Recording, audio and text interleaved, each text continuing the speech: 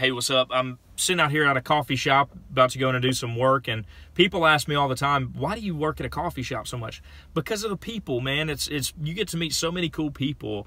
It's it's just really neat.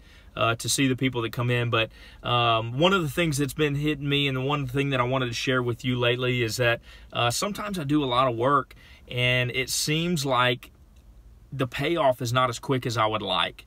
Um, I do a lot of work expecting a quick return because that's the society we live in, and it just doesn't happen. In fact, sometimes it doesn't even happen incrementally. I just have to continue the daily habits. People who have gone before us um, and, and are wiser than us, yes, technology changes things and certain things happen, but business and life philosophy and principles stay the same you continue to do your daily habits, you continue to do the things that you know you're supposed to do, and eventually they'll pay off for you. Um, and in fact, I think that it even hurts us to a point that it's such that we pitch this uh, quick return on everything because um, you know we get in a circumstance. I'll give you an example.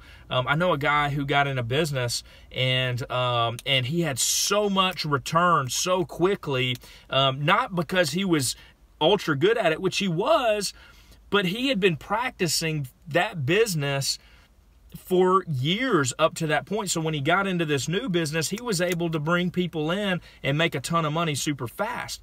The problem with teaching people that that's the the norm or that's what's supposed to happen or using that as the example is when somebody doesn't do that well that fast because they're not as experienced or they're just beginning, they get discouraged and they quit.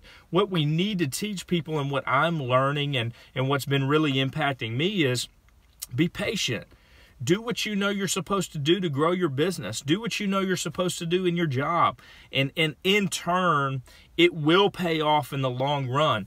You have to have faith, but you also just need to be patient. Be patient by doing what you know is right. Continue to do it, and and in the long run, it'll pay off for you. And sometimes that's quicker than others. Sometimes it's incremental, but ultimately, you know that what you're doing is is gonna pay off for you.